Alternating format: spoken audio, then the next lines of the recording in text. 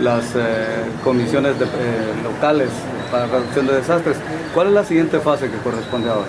Sí, buenos días, gracias. Pues efectivamente, pues ya la semana pasada llevamos a cabo el fin de, este proceso que fue la acreditación de los diferentes coordinadoras, tanto locales, municipales como departamentales.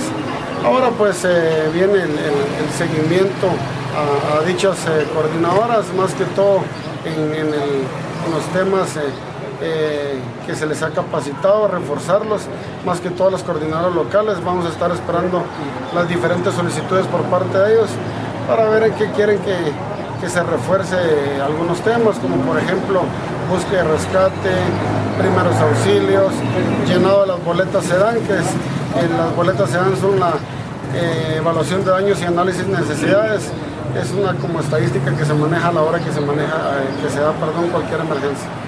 ¿Se incluirán a más comunidades en este tipo de capacitación? Eh, así es, eh, UNICEF pues eh, quiere hacer ahí sí que la segunda parte de, este, de este proyecto, de esta inversión en nuestro departamento, donde se van a tomar en cuenta otros municipios y por nuestra parte también nosotros vamos a estar trabajando con el resto de municipios y comunidades del departamento de Jutiapa. En los últimos años UNICEF ha participado mucho en este tipo de capacitación.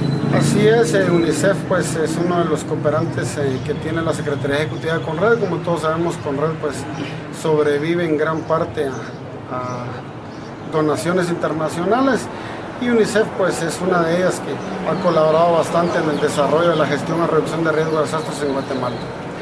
Ahí estamos.